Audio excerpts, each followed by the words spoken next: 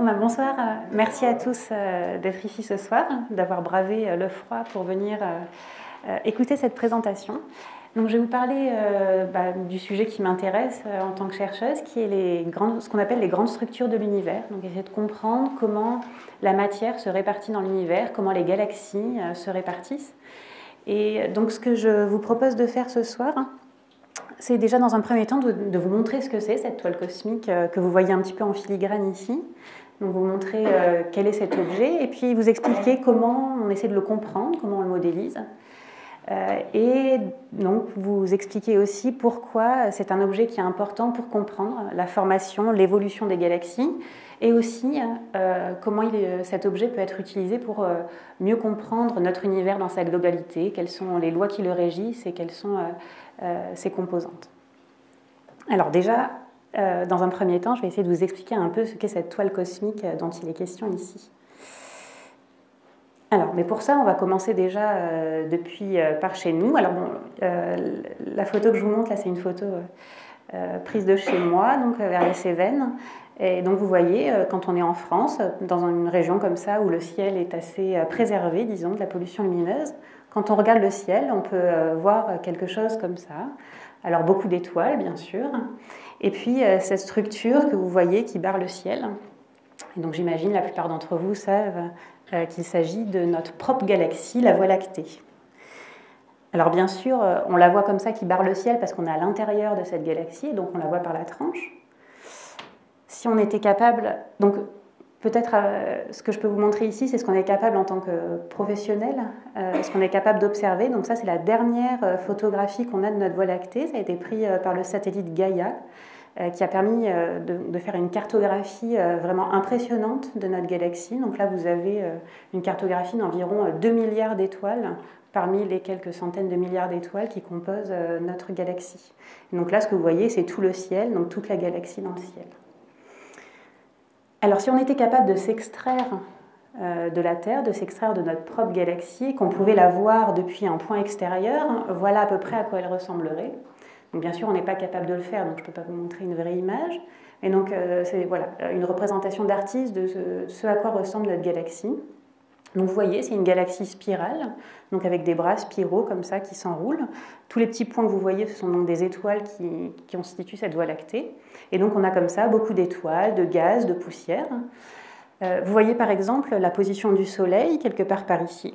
Vous voyez une position euh, assez anodine euh, dans la périphérie euh, de notre Voie lactée, pas une position très particulière. Alors bien sûr, une galaxie, c'est un objet qui est déjà très grand. Donc vous savez peut-être que l'étoile la plus proche du Soleil, elle est à 4 années-lumière de nous. Donc la lumière met 4 années-lumière, 4 années pour, pour aller de l'étoile la plus proche jusqu'à nous. Et donc là, quand on regarde un objet comme une galaxie, qui compte donc des centaines de milliards d'étoiles, on commence déjà à regarder des échelles qui sont euh, euh, vraiment gigantesques. Et donc là, on est en train de parler d'un objet qui fait à peu près, euh, on va dire, environ 100 000 années-lumière de diamètre. Donc il faut s'imaginer que la lumière, pour aller d'un côté à l'autre de la galaxie, elle met à peu près 100 000 ans. Donc voilà un petit peu les, échelles auxquelles on doit faire face quand, on, étudie ce genre d'objet. Et alors vous savez peut-être que dans une galaxie, il y a non seulement des étoiles, du gaz, de la poussière, mais vous savez peut-être qu'il y a aussi un trou noir géant au centre de la plupart des galaxies, en particulier de la nôtre. Et vous avez peut-être vu passer dans les journaux euh, il y a quelques mois cette première image qu'on a réussi à faire euh, du trou noir central de notre galaxie, qu'on appelle Sagittarius A étoile. Et donc là, c'était la première image donc, d'un trou noir comme celui qui a au centre de la Voie lactée. Donc voilà, donc des trous noirs comme ça, il y en a à peu près dans toutes les galaxies. C'est des objets qui, qu'on appelle des trous noirs supermassifs, donc, euh, comme le nom l'indique, ils sont très massifs. Donc typiquement, celui qui est au centre de la Voie lactée, il fait à peu près 4 euh, millions de fois la masse du Soleil. Donc il faut s'imaginer à peu près 4 millions d'étoiles comme le Soleil, très très très très compact, euh, tellement compact qu'en fait on forme un objet qui retient la lumière, duquel rien ne peut sortir, et qui est donc ce trou noir supermassif comme celui qui est ici. Donc, ça, c'était euh, notre propre galaxie, la Voie lactée, hein, euh, que l'on revoit ici, alors plus depuis les Cévennes, mais euh, encore depuis la France, mais un peu plus loin depuis la Réunion. Mais donc, l'objet dont on a parlé, c'est donc cette Voie lactée. En fait, la plupart des étoiles qu'on voit ici appartiennent à la Voie lactée. Et en fait, on sait depuis maintenant quelques temps que la galaxie, la Voie lactée, ce n'est pas la seule galaxie dans l'univers. En fait, il y a des, beaucoup d'objets qu'on voit quand on regarde le ciel qui paraissent être un peu comme des nébuleuses, qui sont des objets en dehors de notre galaxie et qui sont d'autres galaxies. Donc ça, en fait, finalement, c'est une observation qui est assez récente, le fait que les nébuleuses sont des objets qui sont en dehors de la Voie lactée, qui sont extragalactiques. Euh, c'est une observation qui est finalement assez récente. Et on sait donc aujourd'hui que des galaxies euh, comme la nôtre, il y en a euh, beaucoup, des milliards, même probablement des centaines de milliards, dans notre univers, en tout cas dans l'univers visible. Alors là, par exemple, ce que je vous montre, c'est la galaxie la plus proche de nous, qui s'appelle Andromède, euh, et donc là, cette fois-ci, c'est une vraie image, c'est plus un dessin. Euh, donc vous voyez cet objet, notre plus proche voisine. Donc encore une fois, euh, un objet composé d'étoiles, de gaz, de poussière. Et pas seulement. En fait, ce qui constitue la majeure partie de la masse d'une galaxie, comme celle-ci, c'est pas les étoiles, c'est pas le gaz, c'est pas la poussière. En fait, c'est pas la matière qu'on connaît tous sur Terre, mais c'est ce qu'on appelle la matière noire. Alors en fait, euh, on s'est rendu compte, en faisant des observations de ces galaxies qui sont en dehors de notre Voie lactée, on s'est rendu compte que si on regardait la façon dont ces galaxies tournent sur elles-mêmes, eh bien, en fonction de la vitesse à laquelle elles tournent, on peut savoir à peu près combien il y a de masse dans ces objets-là. Et on s'est rendu compte qu'il y avait un petit problème parce que pour expliquer la façon dont ces objets tournent sur eux-mêmes, il faut beaucoup plus de masse que ce qu'on arrive à observer avec nos télescopes. Donc en d'autres termes, ce qu'on arrive à voir grâce à la lumière, c'est une toute petite fraction de la masse de ces objets. En fait, il y a beaucoup plus de masse, mais une masse que l'on n'arrive pas à observer, donc qui semble-t-il n'émet pas de lumière, et, qu'on a donc appelée la matière noire. Donc une galaxie, ça va être des étoiles, du gaz, de la poussière telles qu'on les observe avec nos télescopes. Et en fait, il faut s'imaginer un grand halo de matière noire qui les entoure et euh, qui est en fait la, euh, qui constitue la, majeure partie de ces objets et qui en explique toute la dynamique en particulier.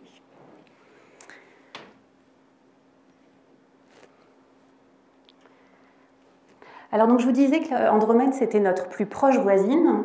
Alors bien sûr quand on fait de la cosmologie, hein, de l'astronomie extragalactique, la notion de voisinage et de plus proche voisin, elle est bien sûr toute relative, hein, puisque notre plus proche voisine, donc euh, Andromède, elle est quand même située à 2,5 millions d'années-lumière de nous.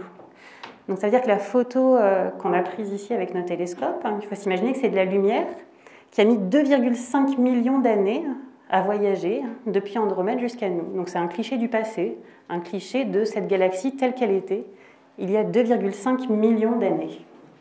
Alors juste pour se rendre un petit peu compte, il y a 2,5 millions d'années, nous on ressemblait à ça sur Terre voilà, on était encore à l'époque euh, d'Homo habilis, donc on commençait à peine à maîtriser les outils et on ne savait pas encore maîtriser le feu. Donc voilà, faire de l'astronomie extragalactique, faire de la cosmologie, c'est aussi regarder dans le passé, regarder de plus en plus loin dans le passé, et il faut bien garder ça en tête à chaque fois. Alors si on dézoome encore un peu, donc je vous ai montré, euh, on est parti en fait de la Voie lactée, notre galaxie, donc d'ici, on a commencé à regarder notre plus proche voisine, Andromède, M31. Si on dézoome encore un peu pour regarder notre euh, voisinage euh, cosmologique, disons, eh bien, si on dézoome, on va voir d'autres galaxies apparaître. Donc ça, c'est ce qu'on va appeler le groupe local, hein, les quelques galaxies qui nous entourent. Alors des galaxies, il y en a de toutes sortes. Euh, il va y avoir des galaxies spirales comme la nôtre, donc on a vu Andromède par exemple. Là, je vous en montre quelques autres. Vous voyez ici un disque, ici aussi l'œil de chat qui a un disque aussi. Euh, on a des galaxies qui peuvent être irrégulières, des galaxies qui peuvent être ce qu'on appelle des elliptiques. Donc, je ne sais pas si vous pouvez voir, mais par exemple, celle que j'avais mis ici en dessous, c'est euh, donc la galaxie euh, Maffei 1, que, vous voyez écrite ici. Ça, c'est la plus grosse galaxie elliptique, enfin en tout cas la plus proche galaxie elliptique de notre, de notre voisinage. Donc voilà, on dézoome, on voit ces galaxies apparaître avec des morphologies différentes. Si on continue à dézoomer, donc là ce que je vous ai montré avant, c'est cette partie-là, ce qu'on appelait le groupe local. Si on continue à dézoomer, vous voyez toutes ces galaxies, tous ces points qui apparaissent. Donc ça c'est notre voisinage à encore plus grande échelle. Donc là on est en train de parler d'à peu près voilà, 60 millions d'années-lumière typiquement. Ce sont les échelles. Donc vous voyez apparaître des amas des amas de galaxies, l'amas de la Vierge par exemple ici.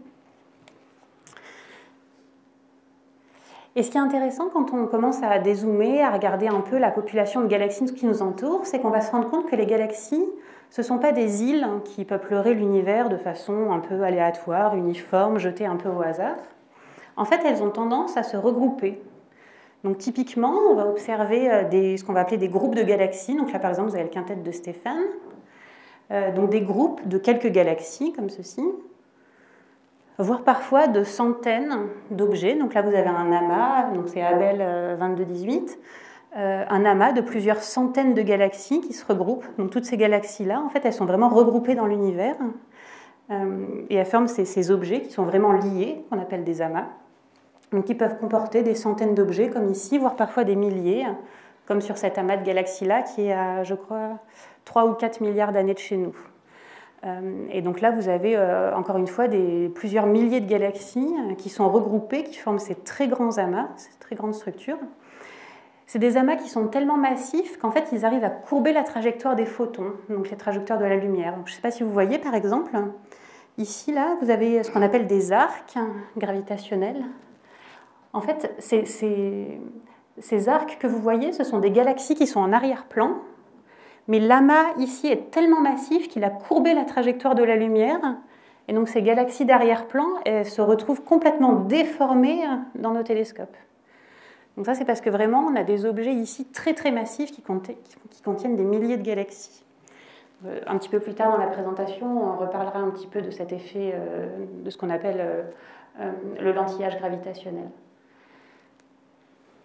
Donc les galaxies, elles, ont tendance à se regrouper en petits groupes, en amas, voire en super amas de galaxies. Et elles forment des structures qui sont vraiment sur des distances euh, colossales et qui, ont parfois même euh, cet aspect un peu filamentaire que vous voyez ici. Donc là, par exemple, c'est ce qu'on appelle le mur du Sloan. Donc chaque point, c'est une galaxie observée. Et vous voyez ces galaxies qui ont tendance à former des structures, donc comme celle que vous voyez ici au milieu, c'est ça qu'on appelle le grand mur du Sloan ici.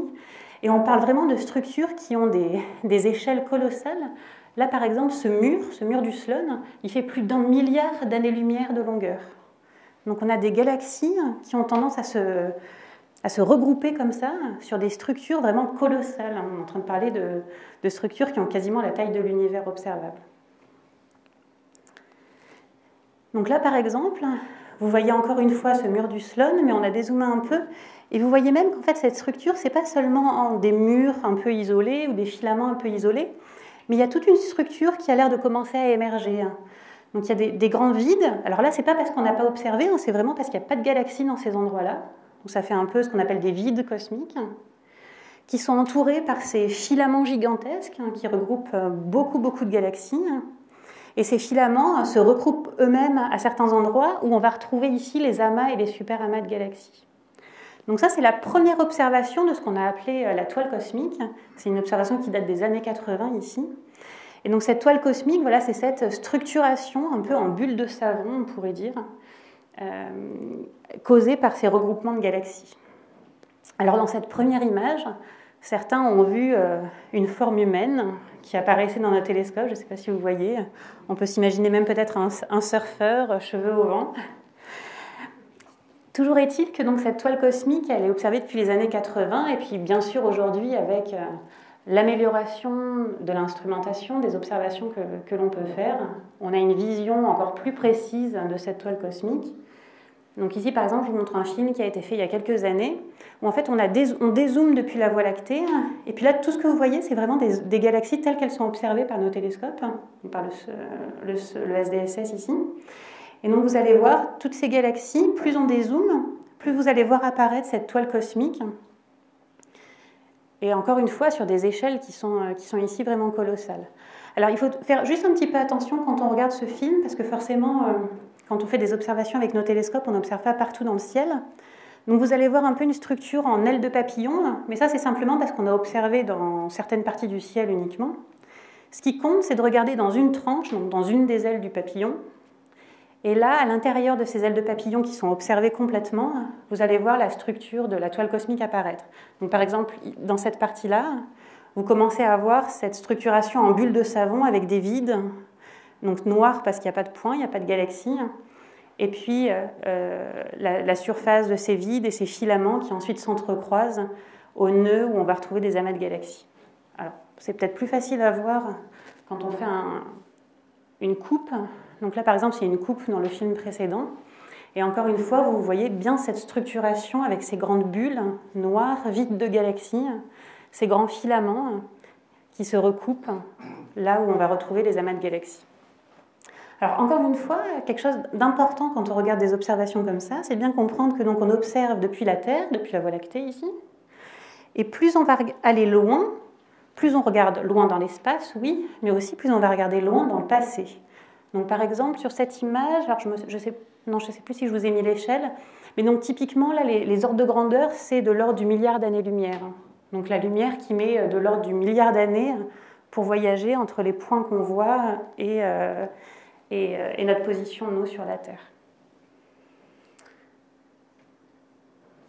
Alors donc cette toile cosmique, on l'a observée depuis à peu près les années 80 et on a été aussi capable de la prédire. En fait, à peu près au même moment, les premières simulations numériques de l'univers apparaissaient.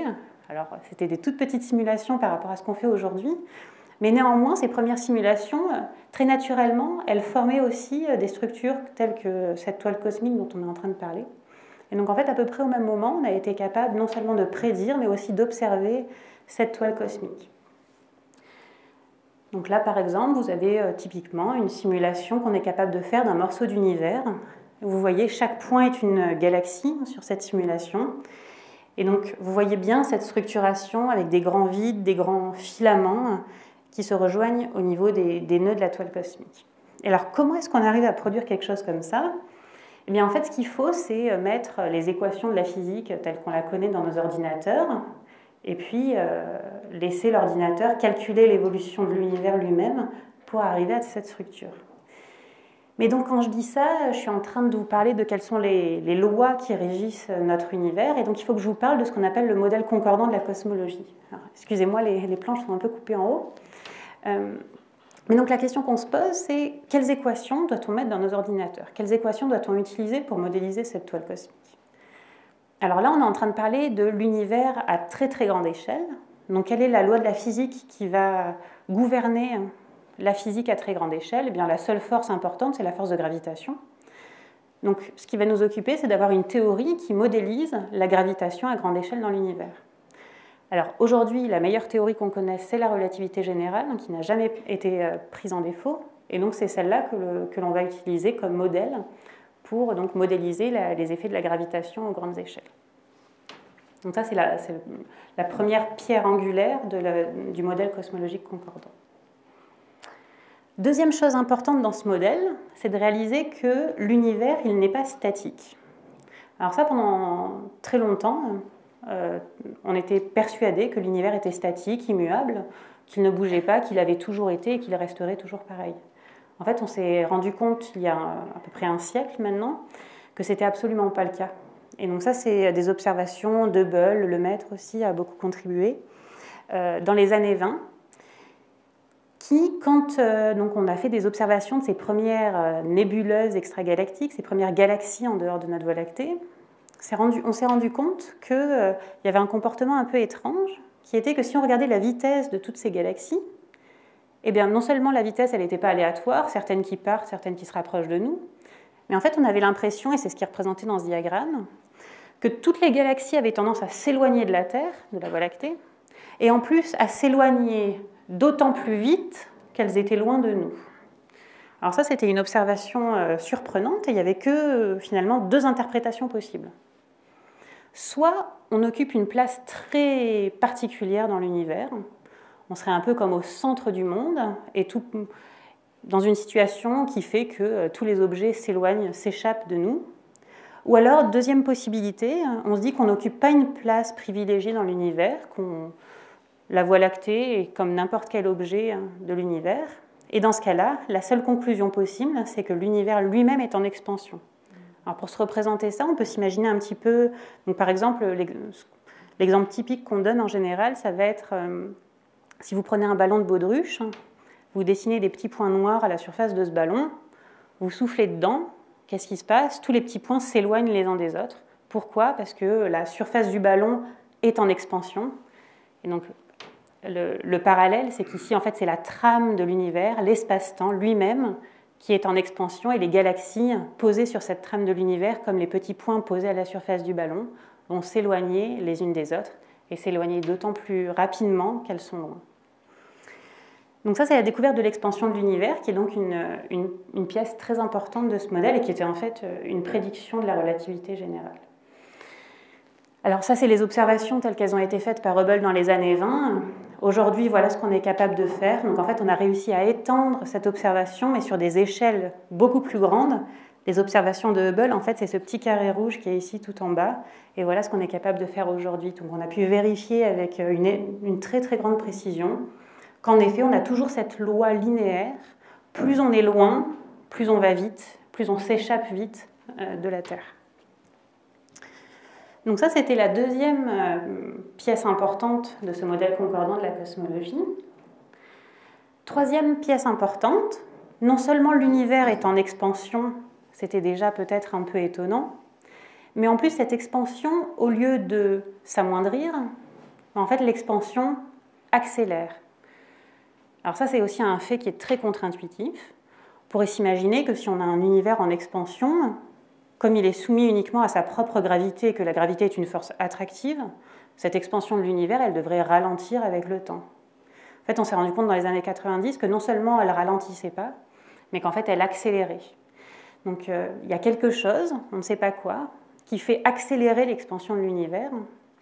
Et donc, euh, ben, comme toujours, euh, quand il y a quelque chose qu'on ne connaît pas, on lui donne un nom un peu étrange. Donc, tout à l'heure, il y avait une forme de matière qu'on ne connaissait pas, on l'a appelée la matière noire.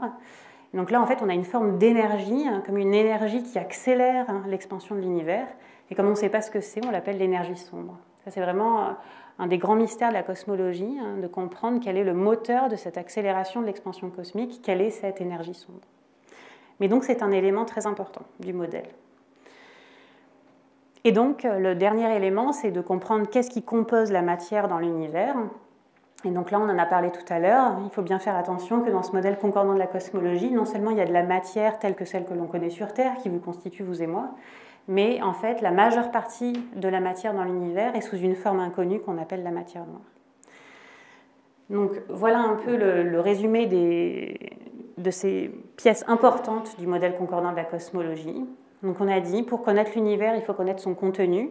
Donc un petit peu de matière hein, traditionnelle telle qu'on la connaît, beaucoup de matière qu'on ne connaît pas et qu'on appelle de la matière noire, et en plus une forme d'énergie supplémentaire que l'on ne connaît absolument pas et qu'on appelle l'énergie sombre.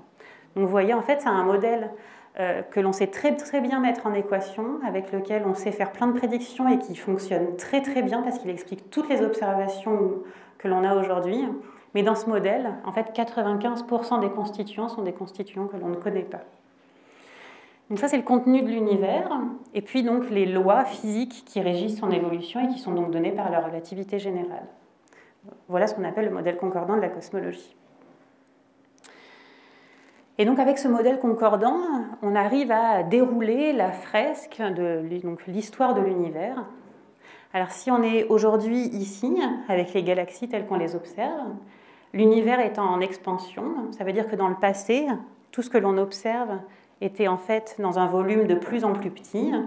Et donc on peut remonter dans le temps et voir comment cet univers, visible ici, devient de plus en plus dense, de plus en plus chaud, jusqu'à virtuellement arriver à un point qui serait de densité infinie, de température infinie, qu'on appelle souvent le Big Bang. Alors attention, le Big Bang, c'est pas du tout une explosion. C'est en fait sans doute pas du tout un point de densité infinie, de température infinie. On est simplement en train de dire qu'à un moment donné, on arrive à des énergies tellement gigantesques que, nos théories de la physique cessent de fonctionner et on arrive à un moment où en fait on n'est plus capable de mettre en équation la physique. Donc c'est à ça qu'on fait référence quand on parle du Big Bang. Donc si on déroule cette fresque dans l'autre sens, on part d'un point où en tout cas l'univers était très compact, très dense, très chaud. Petit à petit, il est en expansion, il refroidit. En refroidissant, il va permettre à ce plasma primordial, cette soupe primordiale, en se refroidissant, tout d'un coup de libérer de la lumière, de devenir transparent. La lumière va voyager, arriver jusqu'à nous.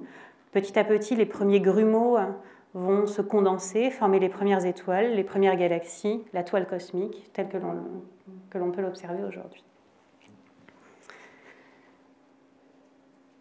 Et donc c'est en mettant euh, ce modèle-là, ce modèle concordant de la cosmologie dans nos ordinateurs, qu'on est capable ensuite de laisser évoluer cet univers, ce morceau d'univers, et donc d'observer dans nos ordinateurs la naissance de cette toile cosmique qui ressemble bougrement à ce que l'on arrive à voir dans nos observations. Alors, une des questions, quand on, a un théoricien comme moi, on aimerait essayer de comprendre pourquoi les simulations elles produisent cette toile cosmique. Qu'est-ce qui fait Quels sont les processus physiques Qu'est-ce qui fait que cette toile cosmique elle apparaît? Donc ça c'est quelque chose qu'on a compris euh, dans les années 90, euh, mais ça a commencé par des travaux déjà dans les années 70 d'un physicien russe euh, qui a fait énormément pour la physique en général et pas que pour l'astrophysique, et qui a déjà commencé à comprendre que quand on s'intéresse à la façon dont la gravitation fonctionne dans l'univers, ce qui va se passer typiquement, c'est qu'en fait, on va avoir ce qu'on appelle un effondrement qui n'est pas, pas sphérique. Donc on a des petits grumeaux de matière dans l'univers primordial. Ces petits grumeaux, ils ne sont pas sphériques, ils ont tendance à être un peu aplatis, un peu comme une patate. Ces petits grumeaux, ils vont s'effondrer sous l'effet de leur propre gravité. Et donc cet effondrement, il va aussi ne pas être euh, symétrique. Donc ce qui va se passer, c'est que ce grumeau initial, il va commencer à s'effondrer le long de sa direction euh, la plus étroite ici, et à former un objet, hop, complètement aplati. Donc ça, c'est ce qu'on a appelé un pancake de Zeldovich. Peut-être on aurait dû l'appeler un blini parce qu'il était russe. Toujours est-il qu'on forme ce, genre de crêpe très aplatie qui ressemble pas mal au mur que je vous montrais dans les, dans les images de la toile cosmique tout à l'heure. Donc ça, c'est la première étape. Deuxième étape, on va s'effondrer suivant le deuxième axe de la patate. Et donc au lieu de former une crêpe, maintenant, hop, on s'effondre suivant un autre axe, on va former euh, comme un cigare, un objet tout allongé. Alors ça, peut-être, ça vous fait penser aussi au filament que je vous ai montré tout à l'heure. Et puis finalement, on va s'effondrer suivant le dernier axe. Et là, on va former un objet qui est totalement effondré sur lui-même et qui va être par exemple un amas de galaxies. Donc Zeldovich, c'est le premier à comprendre ça, que typiquement dans l'univers, on va avoir tendance à former des objets qui vont être très anisotropes, des crêpes, des cigares, ou alors euh, des amas de galaxies, qui ressemblent vraiment beaucoup à cette toile cosmique. alors le problème, c'est que ce qui est impressionnant dans la toile cosmique, c'est le fait que cette toile, elle est complètement connectée. On n'a pas un cigare d'un côté et une crêpe de l'autre, mais tout ça, ça fait euh, une structuration en bulle de savon qui est complètement connectée. Et ça, pour le comprendre, il faut attendre les années 90, et en particulier les travaux de ces trois personnes qui sont là, euh, Bond, Kaufman et Pogosian. Et alors, eux, c'est vraiment les premiers à comprendre euh, la façon dont cette toile cosmique, elle complètement connectée, va s'effondrer. Et en fait, leur idée, qui s'est avérée juste, c'était que dans le plasma primordial, dans cette soupe primordiale de l'univers, on a tous ces petits grumeaux. Mais en fait, ces petits grumeaux, ils ne sont pas mis au hasard dans cette soupe primordiale, ils sont corrélés les uns avec les autres. Et en fait, on ne le voit pas sur l'image, mais il y a comme des ponts entre tous ces grumeaux. Et ce qui va se passer, c'est qu'en fait, les grumeaux vont s'effondrer et les ponts entre les grumeaux vont ensuite s'effondrer au cours de l'évolution de l'univers. Et c'est ça qui va donner naissance ici aux amas de galaxies.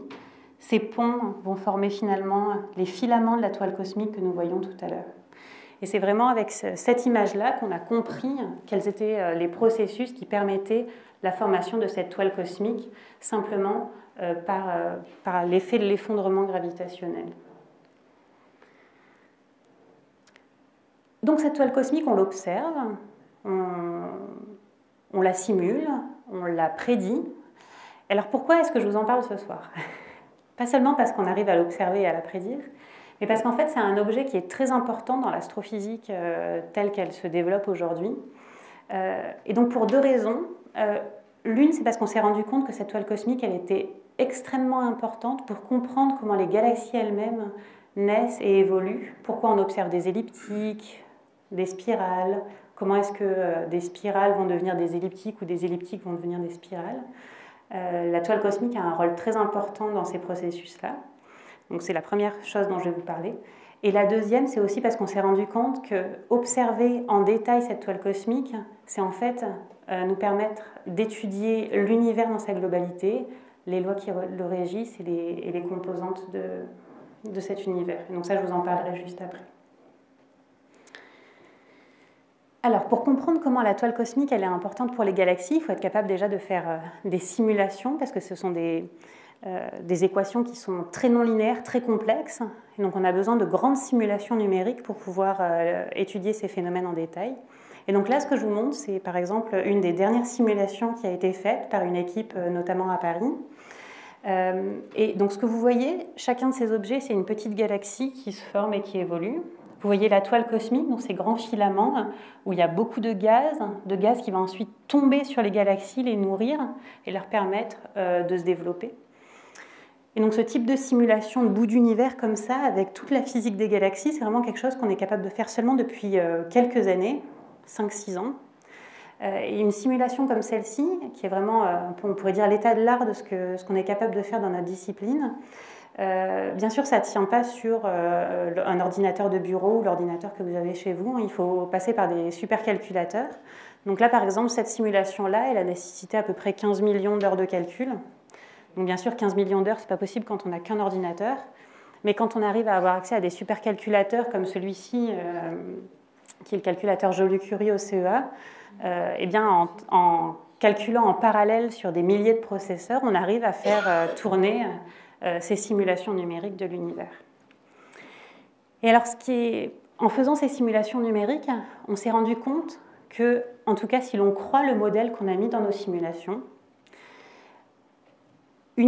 euh, un élément qui est vraiment primordial pour comprendre comment les galaxies elles naissent et elles évoluent, ça va être justement ces filaments verts que vous voyez ici sur l'image, qu'on appelle des, on a appelé ça des courants froids. En fait, il se trouve que ces filaments, ils transportent du gaz, du gaz froid qui va venir euh, tomber sur les galaxies euh, et leur permettre de croître, de former des étoiles, etc.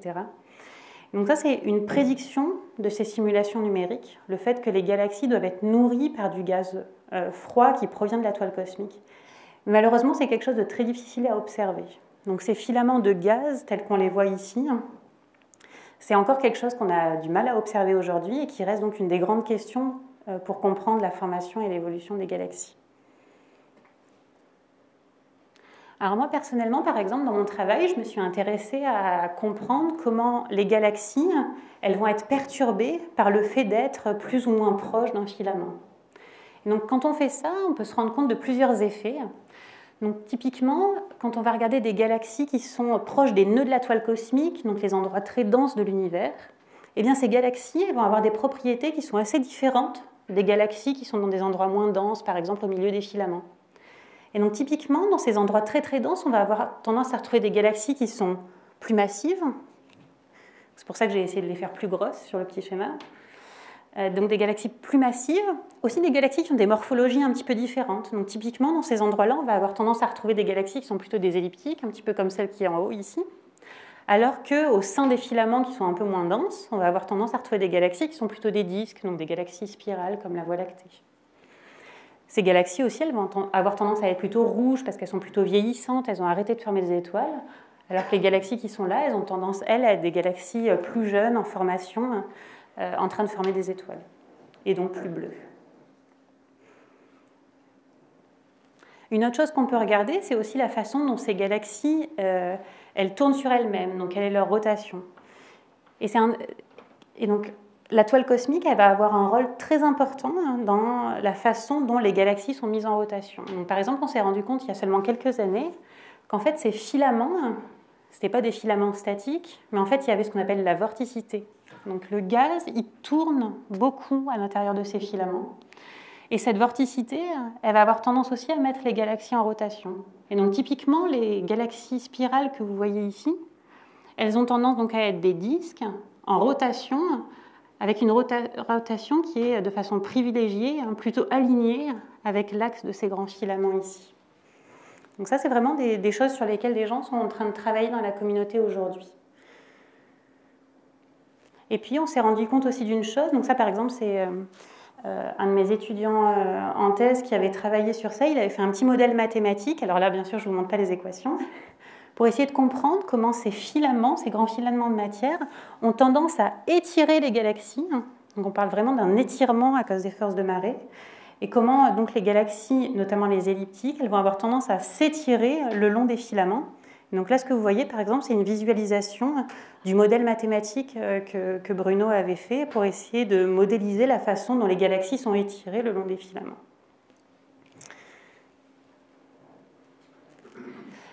Voilà, donc euh, j'ai essayé là de vous expliquer un petit peu en quoi donc, cette toile cosmique elle était importante pour comprendre comment les galaxies elles vont se former, elles vont évoluer au sein de ces grandes structures de l'univers, comment ça va changer leur masse, leur morphologie, la façon dont elles sont en rotation sur elles-mêmes.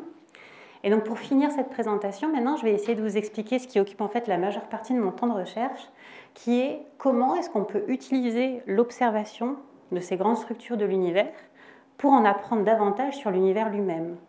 Donc pour essayer de comprendre quelle est cette fameuse énergie sombre, euh, qu'est-ce que c'est que cette matière noire aussi, qui a l'air d'être la composante principale des galaxies, ou encore essayer de voir est-ce que c'est bien la relativité générale, par exemple, qui est le bon modèle pour décrire la gravitation dans l'univers? Alors pour ça, la première chose euh, dont il faut se rendre compte, c'est qu'en fait, comme la toile cosmique c'est le résultat de cet effondrement gravitationnel dont je vous ai parlé tout à l'heure, eh bien la façon dont elle va naître euh, et la façon dont euh, sa géométrie, disons, va dépendre complètement du modèle cosmologique dans lequel nous vivons. Par exemple, si on modifie un petit peu les lois de la gravité, on va modifier la géométrie de cette toile cosmique. Si on modifie les propriétés de l'énergie sombre, on va aussi modifier la façon dont cette toile cosmique va évoluer au cours du temps. Pareil pour euh, un petit peu toutes les composantes du, modèle cosmologique. Par exemple, ici, c'est une visualisation très simple. Vous voyez, simplement, on a mis dans.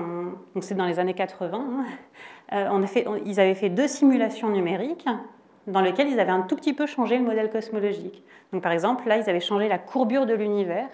Et donc, vous voyez que quand on vit dans deux univers avec des courbures différentes, eh bien, cette structure ces grandes structures de l'univers, cette toile cosmique, vous voyez simplement à l'œil, déjà ici, vous voyez qu'elle a des propriétés un peu différentes. Alors bien sûr, en fait, ce qu'on est capable de voir comme différence aujourd'hui dans la toile cosmique, c'est non seulement des choses que notre œil peut percevoir comme ça, en fait, on est aussi capable de voir des différences qui sont toutes petites que notre œil ne serait pas capable de voir, mais qu'on est capable de faire en, ayant un traitement euh, des images euh, très très fin. Et donc ce que l'on souhaite faire en cosmologie, c'est faire des observations ultra précises de cette toile cosmique. Par exemple, ici, vous voyez le SDSS. Faire donc des observations très précises, à la fois des très grandes échelles, mais aussi de la toile cosmique à toute petite échelle, et puis au cours du temps, pour pouvoir ensuite essayer d'en apprendre davantage sur l'univers. Alors bien sûr, je ne vous cache pas que ce qu'on essaye de faire, c'est donc faire des observations, et puis à partir de là, on veut remonter à une meilleure connaissance de euh, la cosmologie. Donc, par exemple, avoir une meilleure compréhension de euh, euh, qu'est-ce qui constitue l'univers, quelle est la proportion d'énergie sombre, est-ce qu'elle change au cours du temps, quelles sont les lois physiques qui gouvernent l'univers, etc. Alors, bien sûr, vous vous en doutez, derrière cette flèche blanche, en fait, eh bien, le traitement est très très complexe. Donc, derrière ça, il y a un énorme travail de recherche pour mettre en équation tout ça, ce que j'essaie de représenter par ce petit tableau. Moi, c'est l'essentiel de ce que je fais en fait, euh, pour aussi euh, mettre ça euh, dans des ordinateurs, faire des simulations numériques ultra précises pour essayer vraiment de comprendre tout le détail de la formation de cette toile cosmique. Et donc, bien sûr, c'est en fait un des grands défis de la cosmologie d'aujourd'hui que d'être capable à partir de ces observations ultra précises, parce qu'on a vraiment des, instruments aujourd'hui qui font des observations absolument magnifiques de cette toile cosmique. Et donc toute la question aujourd'hui, c'est vraiment d'être capable, euh, à partir de ces observations, de dire quelque chose sur la composition de l'univers et surtout de dire quelque chose de fiable. Alors voilà un petit peu les instruments euh, d'aujourd'hui et puis du futur, mais du futur très très proche finalement. Euh, sur lesquels euh, la communauté donc, de la cosmologie essaie de travailler. Alors moi, par exemple, avec mes collègues européens, on travaille beaucoup sur un satellite qui devrait être lancé, on l'espère, en juillet, qui s'appelle le satellite Euclide, et donc qui va permettre cette cartographie de la toile cosmique dont je vous parlais aujourd'hui. Il y a d'autres instruments qui sont en train d'être construits, donc notamment au sol, l'observatoire Vera Rubin, qui est en train d'être construit par les Américains et qui devrait commencer aussi à prendre des données dans un futur très proche. Normalement, en 2023, ça devrait être aussi le début de l'acquisition des données. Euh, et puis euh, à un peu plus long terme, ce n'est pas encore complètement euh, financé, mais donc d'ici peut-être une dizaine d'années, on devrait aussi avoir un satellite américain qui devrait être lancé pour, pour étudier cette question-là. Ah oui, pardon. Donc l'observatoire Vera Rubin qui est en construction, donc aujourd'hui il ressemble à peu près à ça. Et alors, qu'est-ce que, avec ces instruments-là, qu'est-ce qu'on essaye de faire? En fait, on essaie de faire deux choses. Donc quand je vous dis qu'on essaie d'utiliser euh, donc euh, une cartographie des galaxies, un relevé des galaxies pour faire de la cosmologie, en fait on fait deux choses euh, un petit peu différentes. La première chose qu'on essaie de faire, c'est ce qu'on va appeler une cartographie à trois dimensions de la distribution des galaxies. Alors j'imagine quand je vous dis cartographie, vous pensez tout de suite que c'est en trois dimensions et ça vous paraît simple. En fait, en pratique, savoir où se situe une galaxie, c'est compliqué. Alors sa position sur le ciel, donc à deux dimensions, ça c'est plutôt facile. Ce qui est difficile, c'est de savoir à quelle distance cette galaxie elle est de nous. Euh, donc là, c'est beaucoup moins facile, et c'est pour ça que la cartographie 3D est difficile. On a besoin donc d'avoir une estimation de la distance entre euh, ces galaxies et nous. Et donc pour ça, ce qu'on fait, c'est qu'il faut... Donc on observe la lumière qui vient de ces galaxies, et là, il faut utiliser euh, de la spectroscopie pour en fait euh, comprendre comment cette euh, lumière qui vient des galaxies se distribue, donc leur spectre lumineux. Et en fonction de leur spectre, on arrive à connaître leur distance. Alors pourquoi, me direz-vous? Ben, Parce que l'univers est en expansion. Donc si l'univers est en expansion, ça veut dire qu'en fait, quand la lumière de ces galaxies, elle voyage jusqu'à nous, leur spectre lumineux va changer. C'est un peu comme, euh, donc c'est ce qu'on appelle l'effet Doppler. C'est un peu comme quand vous entendez une ambulance, par exemple, qui passe dans la rue vous êtes capable de dire si l'ambulance elle vient vers vous ou si elle s'éloigne parce que le son il est plus aigu ou plus grave. Vous avez tous déjà entendu ça, je pense, quand une ambulance passait à côté de vous. Eh bien, dans l'univers, c'est exactement ou presque la même chose.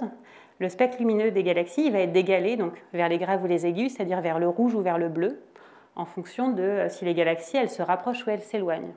Alors on a dit l'univers il est en expansion, donc en fait toutes les galaxies elles s'éloignent de nous. Donc tous les spectres des galaxies sont décalés vers le rouge. Mais ils sont décalés vers le rouge un tout petit peu si les galaxies sont proches, et beaucoup si les galaxies sont loin. Et donc en observant ce décalage hein, vers le rouge du spectre des galaxies, on est capable de savoir où est-ce qu'elles sont. Alors par contre, bien sûr, c'est très coûteux hein, de faire des spectres de galaxies.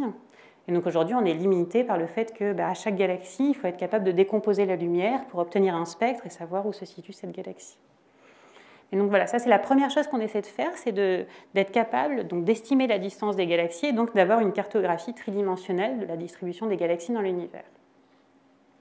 Et alors ce n'est pas la seule chose qu'on essaie de faire, donc ça c'est ce qu'on va appeler la première sonde. Il y en a une deuxième. Alors la deuxième sonde qu'on va utiliser, c'est ce que je commençais à vous expliquer un petit peu tout à l'heure, c'est ce qu'on appelle le lentillage gravitationnel. Donc on va essayer en fait de faire des images des galaxies. Donc cette fois-ci, on s'intéresse plus seulement à où se situent les galaxies, mais on essaie de prendre une photo des galaxies. Pourquoi? Parce que euh, ces galaxies, elles vont voir leur image déformée simplement parce que leur lumière s'est propagée dans l'univers. Et donc vous le savez, en relativité générale, dès qu'il y a de la masse quelque part, l'espace-temps est déformé. Et quand l'espace-temps est déformé, la trajectoire des photons, la trajectoire de la lumière est courbée. Et donc en fait, quand la lumière voyage dans l'univers, elle passe au travers de filaments, d'amas de galaxies, etc. Et donc la trajectoire de tous les photons lumineux qui traversent l'univers est courbée du fait de la masse simplement qu'il y a le long de la ligne de visée.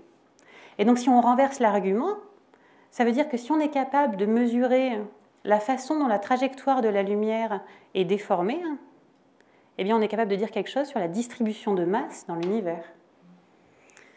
Donc ce qu'on essaye de faire, c'est quoi? C'est de regarder des images de galaxies, de voir est-ce que ces images de galaxies sont déformées, de mesurer cette déformation, et en faisant ça sur des millions de galaxies, voire plus, on est capable de dire quelque chose sur la façon dont la matière se répartit dans l'univers.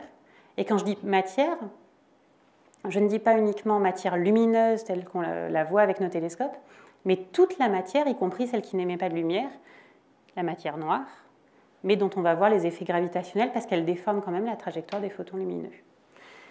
Donc c'est ce, ce qui est représenté un petit peu sur ces images ici. vous voyez, dès qu'il y a de la masse dans l'univers, la trajectoire des photons est déviée. Et donc quand sur Terre on fait une image de galaxie, et eh cette image de galaxie elle est déformée euh, du fait de la présence de matière dans l'univers. C'est un peu comme si l'univers était une loupe. Donc ici, c'est quand il y a un objet très très massif, mais en fait, toute masse, même petite, va modifier la trajectoire des photons lumineux.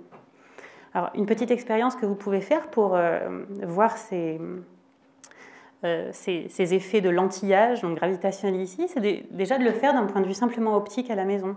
Donc ça, c'est des choses très faciles à voir. Par exemple, les arcs que je vous montrais tout à l'heure, qui sont des déformations très violentes des images de galaxies. C'est quelque chose que vous pouvez voir simplement vous vous amusez à la maison, vous prenez une bougie ou n'importe quelle source lumineuse, vous prenez un verre, donc le verre c'est un petit peu comme l'univers. Je vous ai dit, l'univers ça va être un peu comme une loupe. Et vous regardez hein, au travers du verre l'image de cette source lumineuse. Donc ça c'est en fait une galaxie d'arrière-plan. Le verre, bah, c'est tout l'univers qui est entre la galaxie et nous, donc toutes les structures, la toile cosmique, etc. Et là, vous voyez l'image qu'on va voir dans nos télescopes. Et donc si vous bougez un peu le verre, vous allez voir que des fois, eh bien, l'image simplement d'une flamme, d'une bougie, dans le verre, ça peut devenir trois images, parfois même cinq différentes, voire même, comme ici, un anneau complet.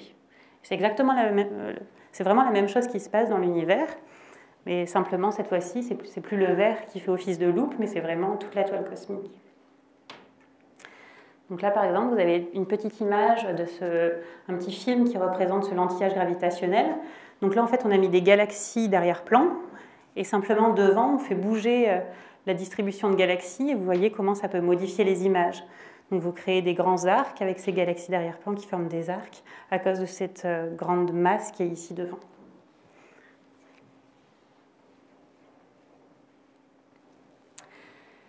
Donc voilà, on essaie d'utiliser la cartographie tridimensionnelle des galaxies, on essaie d'utiliser le lentillage gravitationnel, tout ça pour être capable d'en dire un petit peu davantage sur euh, la géométrie, la toile cosmique, de la toile cosmique, et in fine donc sur l'univers lui-même. Et donc je vous l'ai dit, on a plusieurs expériences qui sont euh, en train d'arriver. Et donc là, je voudrais juste détailler un tout petit peu l'une d'entre elles, euh, parce que je la connais un peu plus. Euh, et donc c'est le, satellite Euclide. Comme ça, ça vous permettra de voir un petit peu euh, ce qu'on fait aujourd'hui en astrophysique, quelles sont les grandes manips sur lesquelles les astrophysiciens travaillent. Alors donc Euclide, c'est un satellite de l'Agence spatiale européenne. Donc là, vous avez une petite image de ce à quoi il devrait ressembler. Euh, donc aujourd'hui, les, instruments de ce type, ça, ça, regroupe des équipes qui sont ben, gigantesques, à peu près autant que les échelles que l'on essaie de regarder dans l'univers. Euh, donc là, par exemple, pour un satellite comme Euclid, c'est euh, plus d'une dizaine de pays qui travaillent ensemble pour essayer d'y arriver. On est en train de parler de plusieurs milliers de personnes qui travaillent tous les jours pour euh, faire en sorte que ce satellite voit le jour et qu'on soit capable d'en faire une exploitation scientifique. donc c'est un satellite qui devait être lancé avec une Soyuz, mais vous imaginez bien que vu le contexte actuel, ça a été un peu compliqué. donc finalement, on a pensé qu'on n'arriverait pas à lancer, mais on devrait pouvoir le faire avec une un, lanceur américain l'été prochain, on espère. Euh, et donc c'est une mission qui va durer à peu près six ans. Alors donc ce satellite, on ne on le met pas euh, autour de la Terre, on l'envoie à ce qu'on appelle le point de Lagrange L2. Donc une petite représentation, voilà. Vous avez la Terre, le Soleil, la Lune. Donc en L2, c'est ici. Donc c'est un point d'équilibre instable euh, dans le système solaire. Et donc c'est là qu'on envoie ce... Il y, a, il y, a, plusieurs satellites qui sont à ce point de Lagrange et c'est là qu'on va donc envoyer Euclide pour essayer d'avoir euh, le meilleur environnement possible pour faire notre acquisition de données. Donc un satellite comme ça, donc comme Euclid, il va nous permettre de couvrir à peu près tout le ciel, ou en tout cas tout ce qu'on peut ensuite utiliser. Donc euh, à peu près un tiers en fait du ciel sera cartographié grâce à ce satellite. Et on est en train de parler euh, d'à peu près 2 milliards de galaxies qui vont pouvoir être observées. Donc c'est vraiment un pas colossal par rapport à ce qu'on est capable de faire aujourd'hui.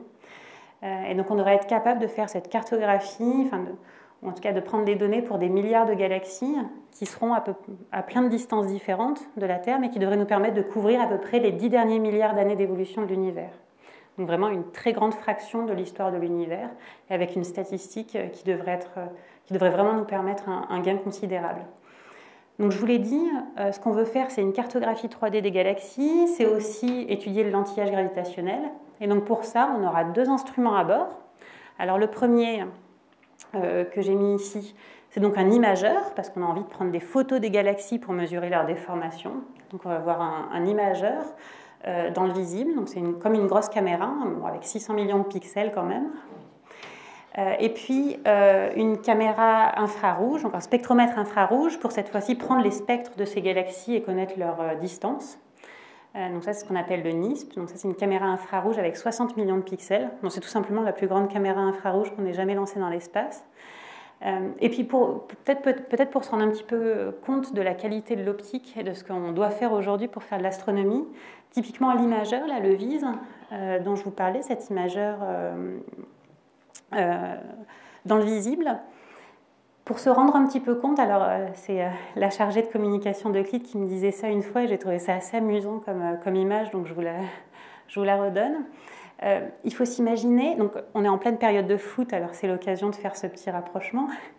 Vous imaginez si vous êtes au stade Vélodrome à Marseille et que votre équipe joue, mais malheureusement elle joue contre le PSG au Parc des Princes, et bien si vous avez cette caméra du Vélodrome, vous pouvez la pointer sur le Parc des Princes et vous serez capable de voir une mouche sur le ballon de foot de votre équipe préférée.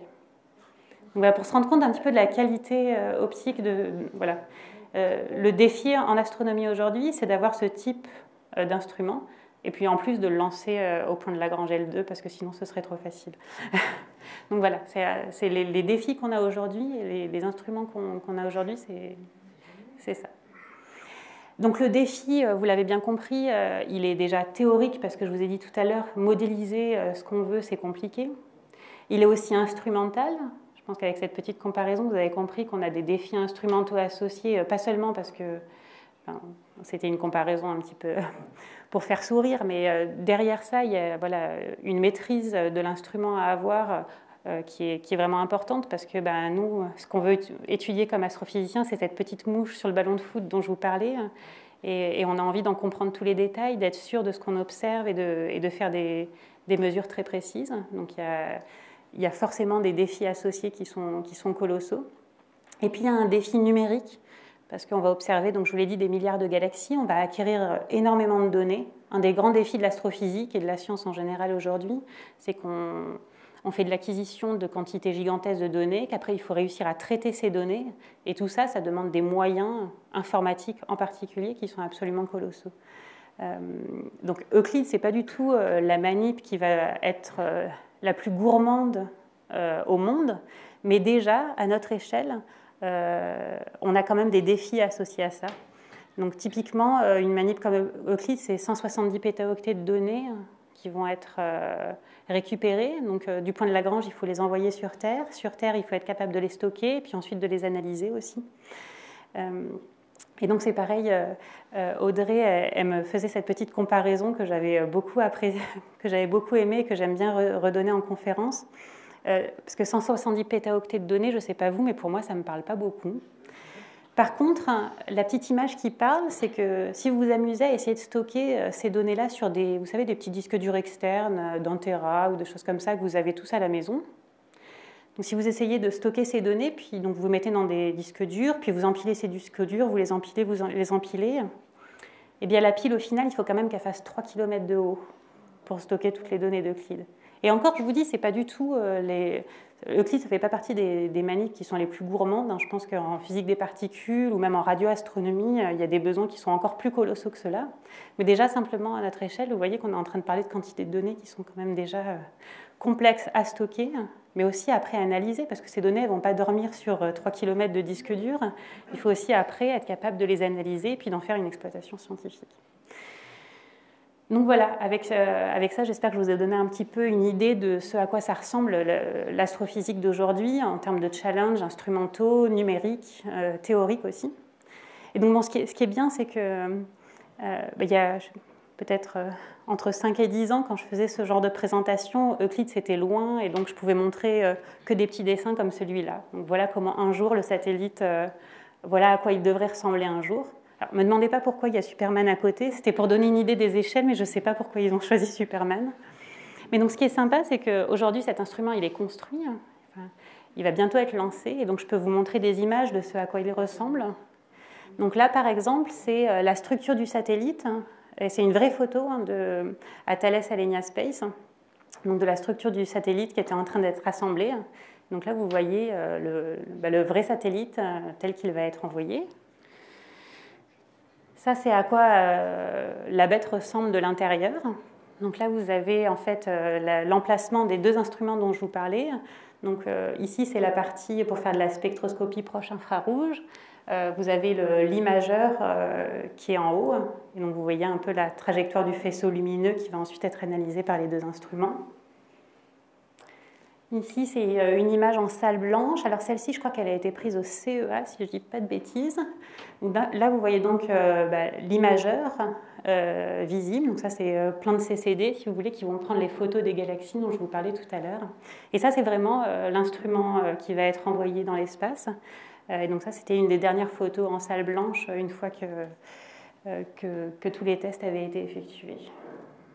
Et là, donc c'était l'imageur que vous avez vu juste avant. Et là, c'est le, donc la partie spectroscopie proche infrarouge. Euh, le NISP. Et là, cette fois-ci, euh, ça doit être à Marseille, dans nos laboratoires à Marseille, juste avant d'être envoyé en Italie euh, pour les derniers tests.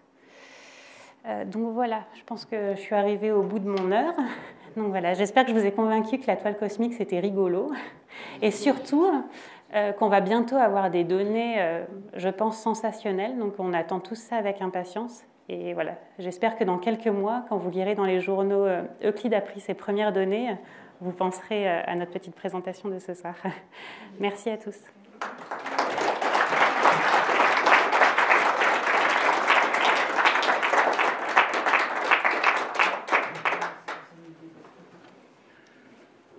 Merci Sandrine pour ce bon voyage. Et je ne pense pas que ça va susciter pas mal de questions. Donc, euh, allez-y, euh, lancez-vous.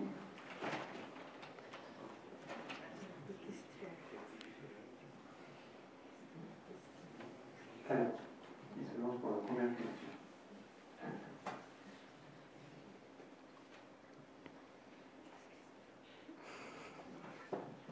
Vas-y.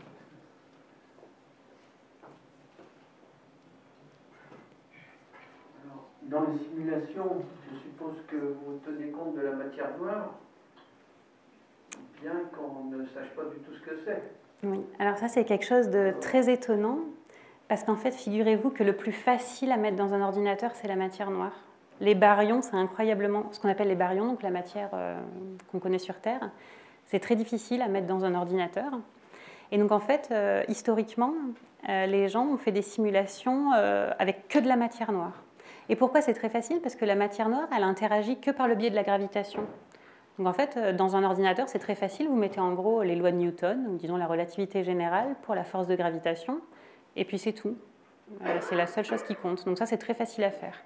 Euh, en fait, mettre, rajouter de la matière ordinaire, du gaz, de la poussière, c'est des processus qui sont beaucoup plus complexes parce que là, tout d'un coup, il faut rajouter toute la thermodynamique associée. Euh, donc c'est beaucoup plus d'équations.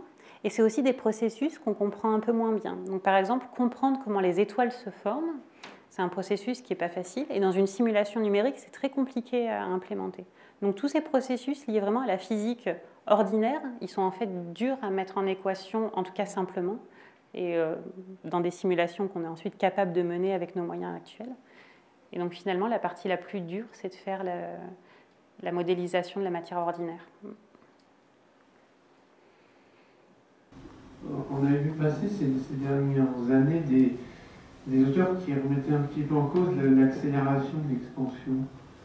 Euh, alors qu'est-ce qu'il en est on, en a entendu parler, puis là on n'entend plus trop. Euh, oui, alors la cosmologie, c'est un champ disciplinaire euh, particulier. Même déjà l'astronomie en général, je pense que c'est un champ particulier parce qu'en général en sciences, on fait des expériences, on peut reproduire les expériences et donc tester nos hypothèses avec, euh, en reproduisant les expériences autant qu'on veut. En astronomie, on ne peut pas parce qu'en fait, on n'a pas d'expérience, on a des observations. Et donc, on observe notre univers tel qu'il est à un instant T et puis dans les conditions euh, de nos observations, et ça, on ne pourra jamais le changer. Euh, donc, en ce sens, l'astrophysique, c'est un peu, un peu compliqué, surtout quand on veut tester des, modèles. et donc, en plus, on se retrouve. Donc, ça, c'est le premier point. Et le deuxième, c'est qu'en plus, on est dans une situation aujourd'hui où on a énormément d'observations. On a un modèle que je vous ai décrit aujourd'hui qui rend compte vraiment extrêmement bien de toutes ces observations, mais dans ce modèle, il y a des grandes inconnues. Et alors donc forcément, euh, bah, quand euh, les physiciens théoriciens, euh, quand on leur dit, alors pour expliquer les observations, on a besoin d'ajouter en fait en majeure partie des choses qu'on ne connaît pas, donc de l'énergie sombre, de la matière noire, c'est pas très satisfaisant.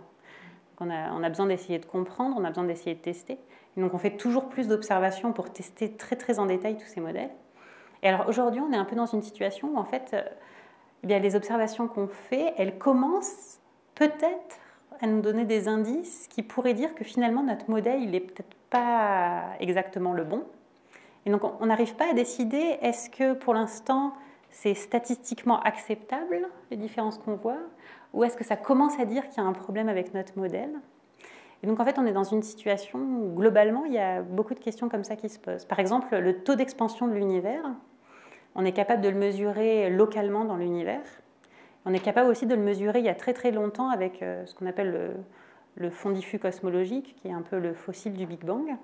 Et il se trouve que les deux valeurs qu'on mesure, elles commencent à être un petit peu différentes. Comme si euh, bah, l'expansion de l'univers, quand on la mesure dans l'univers localement, puis à très très grande échelle, ce n'était pas tout à fait euh, en accord l'une avec l'autre.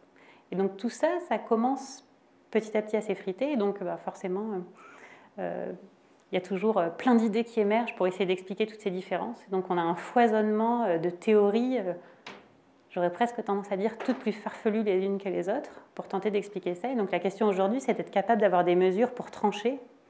Et donc ça, c'est l'avenir qui nous le dira. Donc des, observations comme Euclide, par exemple, qui nous permettront de trancher entre, tous ces modèles, et puis de, dire si vraiment on a besoin de modèles plus compliqués que le modèle concordant dont je vous ai parlé aujourd'hui.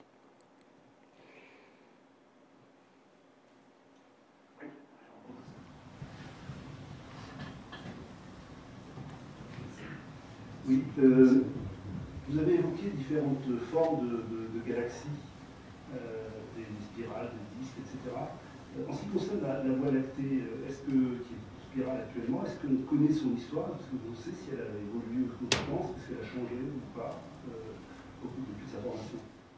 Oui, alors euh, il y a plusieurs choses. Donc déjà côté observation, donc je vous l'ai dit avec le satellite Gaia, on a vraiment euh, révolutionné notre compréhension de, la Voie lactée parce qu'on arrive vraiment à cartographier euh, énormément d'étoiles et non seulement à connaître leur position mais aussi leur vitesse. Et en fait avec ces, avec ces données très précises, on arrive à essayer de décortiquer l'histoire d'évolution de la Voie lactée, essayer de remonter dans le temps et comprendre d'où on vient et où on va.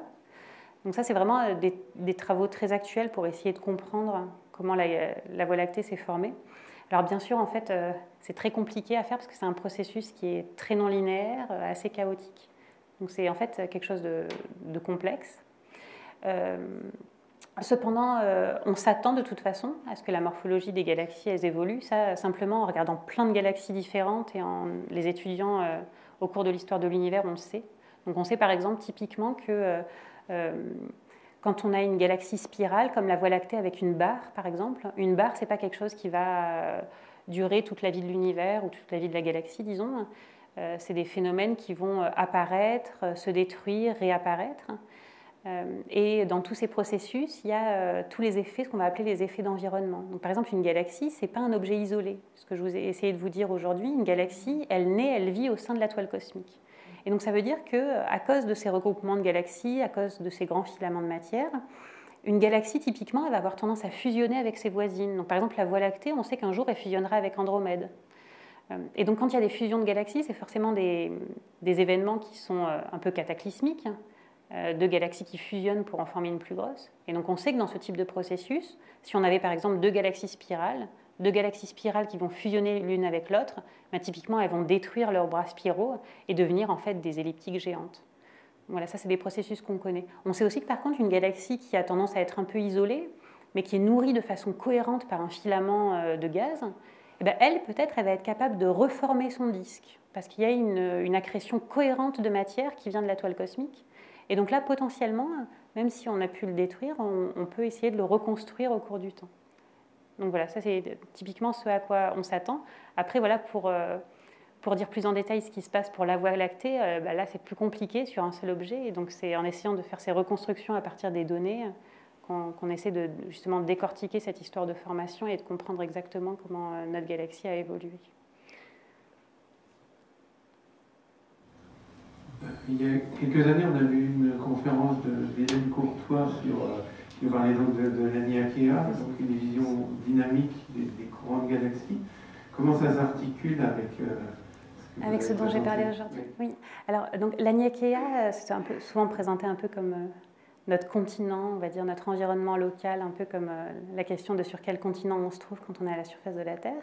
Et donc, typiquement, c'est des échelles assez petites aux échelles du cosmos. Donc, c'est typiquement dans les premières planches que je vous ai montrées quand je vous ai parlé de notre univers local, de la présence d'un amas, l'amas de la Vierge, juste à côté de nous. Cet environnement-là, euh, parfois, on parle de super amas de la Vierge, par exemple, qui englobe cet environnement que je vous montrais. Donc ça, c'est vraiment notre environnement très proche. Et ce qu'on appelle l'Aniakea, ça va être exactement euh, ces structures euh, qui sont autour de nous sur ces échelles-là, qui sont quand même des échelles très proches. Moi, la toile cosmique dont j'ai essayé de vous parler, c'est donc une structuration de la matière à encore plus grande échelle quand on regarde vraiment des, milliards d'années-lumière de côté. Euh, voilà, à plus grande échelle. Mais c'est vraiment un peu la même chose, simplement avec un focus un peu différent en termes d'échelle.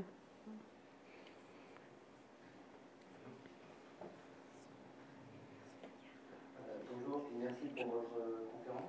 Euh, j'avais une question, c'était si vous pouviez repréciser le, rôle, enfin, les objectifs de Euclide. Est-ce que c'est vraiment pour améliorer la connaissance de la structuration de l'univers ou pouvoir répondre peut-être aux, grandes questions euh, que sont la, matière noire et, l'énergie sombre. Voilà, c'était un peu, si vous pouvez repréciser ces objectifs. Donc en premier lieu, ce qu'on va faire, c'est euh, euh, faire des images des galaxies pour mesurer cet effet de lentillage dont je vous parlais.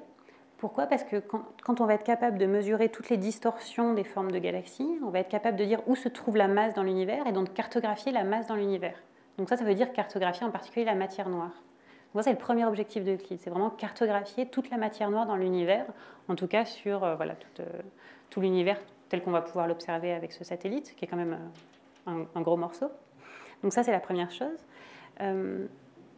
Donc ensuite, on va avoir ces observations avec des images de galaxies. On va avoir aussi la connaissance de la distance des galaxies, faire de la cartographie 3D, ce dont je vous parlais tout à l'heure.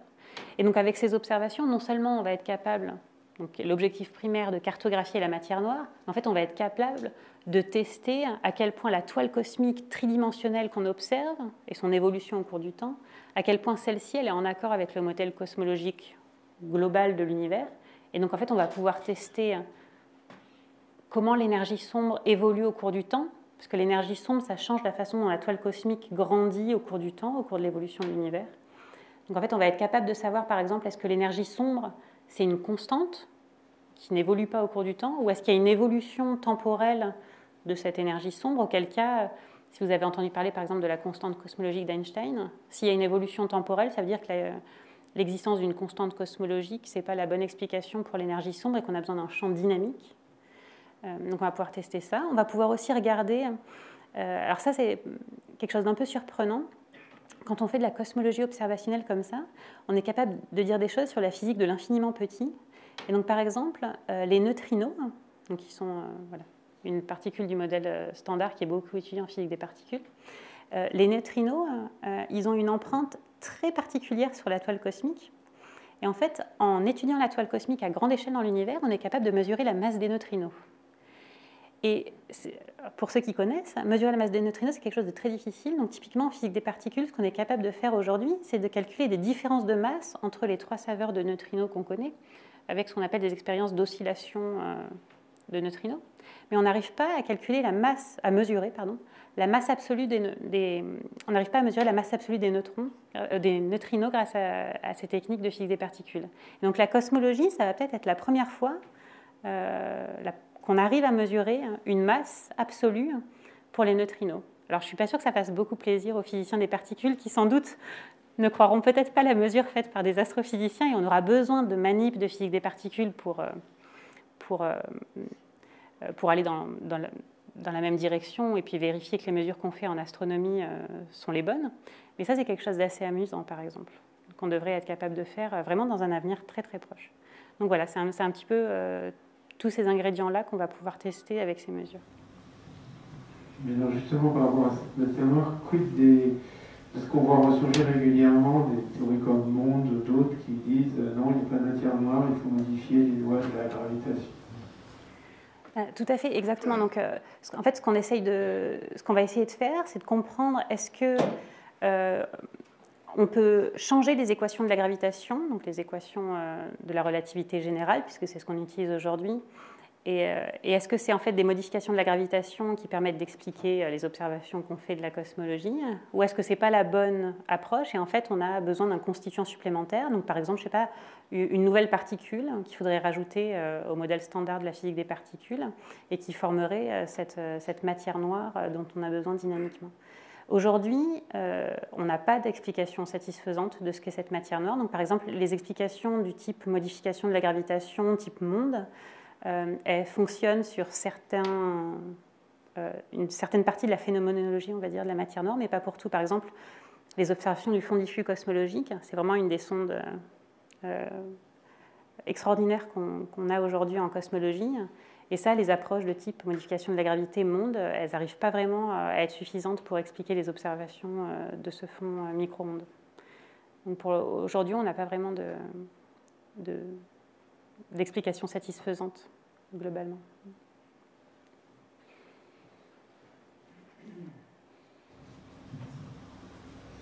Est-ce que si on prolonge les simulations sur des très longs bas de temps, ces structures de l'univers que vous nous avez présentées, elle est encore valable Est-ce qu'on pourra toujours observer ces filaments-là, ces nœuds, etc. Alors bonne question, et ça dépend un peu dans quel modèle euh, cosmologique on vit.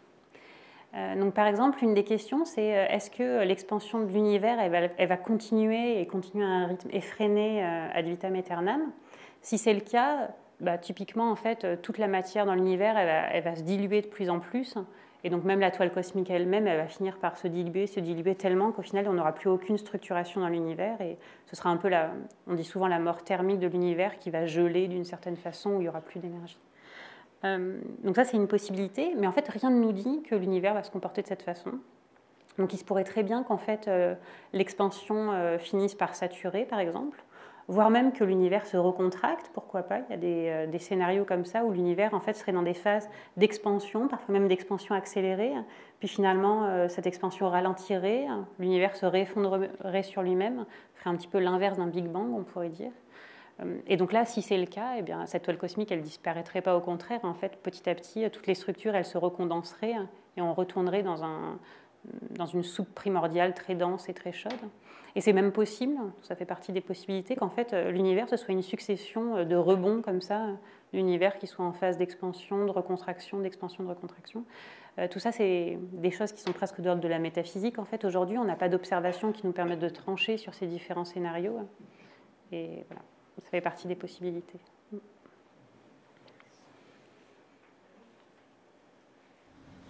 On a, parlé de Euclide. Le mois dernier, on a eu une, belle conférence sur euh, James Webb. Alors, euh, est-ce qu'il y aura des contributions utiles du James Webb à ces problématiques? Est-ce qu'il y a des observations prévues dans, ce sens? Ah Oui, bah, alors, euh, donc, en ce qui concerne l'extra-galactique, en tout cas, avec le James Webb, euh, bah, on est déjà en train d'avoir euh, des observations euh, des galaxies, et notamment des galaxies très très tôt dans l'histoire de l'univers, qui nous permettent de mieux apprendre la façon dont les galaxies se forment, elles évoluent. Donc, par exemple, on, observe des, galaxies qui ont des morphologies qui peuvent paraître parfois peut-être surprenantes ou pas d'ailleurs, mais qui en tout cas nous permettent de tester nos hypothèses sur la formation et l'évolution des galaxies. Donc euh, voilà, toute la question, c'est de voir est-ce que ces observations elles rentrent dans le modèle qu'on a aujourd'hui de compréhension de ces structures ou pas.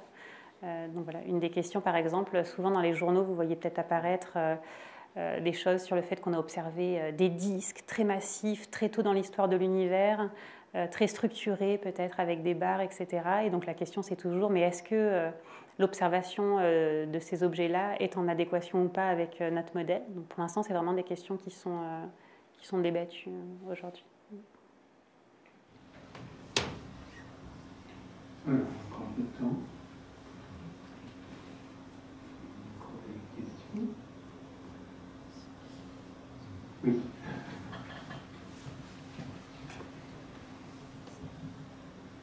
Du coup, j'ai une question sur les filaments. Je ne sais pas si vous l'avez expliqué, mais je n'ai pas compris pourquoi ces filaments doivent exister à côté d'espaces vides. Et finalement, en thermodynamique, il me semble que un gaz va aller prendre, occuper tout l'espace. Pourquoi Qu'est-ce qui fait que ça, n'est pas le cas?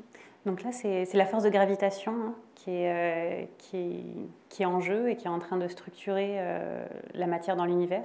Et donc ce qui, ce qui, se passe en fait, c'est que dès qu'on commence à avoir des endroits avec des petites surdensités ou des petites sous-densités, hein, la, gravitation, on appelle l'instabilité gravitationnelle, elle va euh, exacerber hein, ces petits grumeaux initiaux.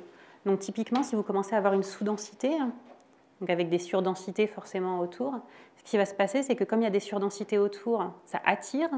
Et donc les endroits qui étaient déjà un petit peu pauvres en matière, ils voient toute leur matière attirée d'autant plus par les endroits un peu plus denses. Et donc c'est comme ça en fait que la matière, elle s'échappe progressivement des vides, elle rejoint la surface de ces bulles, ce qu'on appelle les murs en général. Et puis ensuite, encore une fois, elles sont attirées par les endroits un peu plus denses, et donc des murs, elles vont vers les filaments. Et puis après, au sein des filaments, eh bien, elles sont attirées vers les nœuds qui sont encore plus denses. Et donc la matière, après, elle va s'écouler le long des filaments pour rejoindre les nœuds de la toile cosmique. Et c'est pour ça qu'en fait, de, petits grumeaux très très petits initialement, puisque ces grumeaux, ils sont de l'ordre de 0,01% euh, originellement euh, dans l'univers, et bien petit à petit, en fait, ces grumeaux, ils deviennent de plus en plus denses, les vides, au contraire, de plus en plus vides, et on arrive à cette structuration de l'univers comme on la voit aujourd'hui.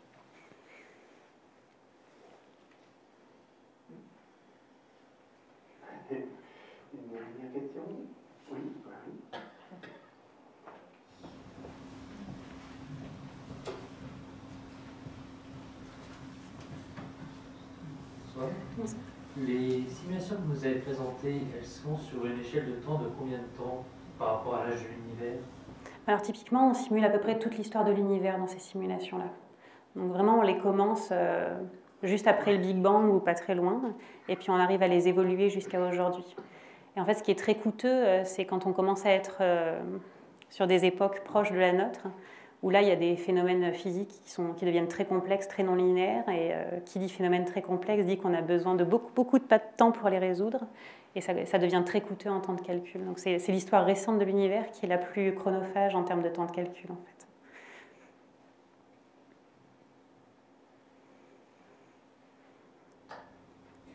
S'il n'y a plus de questions, on va à nouveau remercier Sandrine. Alors, nous, on a toujours des petits, présents euh, liquides, pas Voilà. Merci, Avec euh, mon collègue Eric, euh, parce que tout à l'heure, on parlait de, de structure en mousse de, de savon, on parle souvent de, de mousse de crément de Bourgogne, évidemment. Bon, il n'y a pas de crément, j'aurais pu en faire mettre un là-dedans, mais. Bah, merci beaucoup, c'est très gentil. De, de Bourgogne. Et puis ben, on vous remercie tous, on vous souhaite une bonne soirée. Et puis je vous rappelle que donc, le 10 janvier, c'est monsieur qui est là, Didier Stverga, qui lui nous parlera de comment se, fabriquent les éléments chimiques dans notre univers. Donc on regarde au niveau des étoiles, mais bon, tout ça est, lié et, très euh, important. Donc ce sera un autre pan d'histoire d'univers. Et ben, bonne soirée, joyeuse fête, et puis à très bientôt.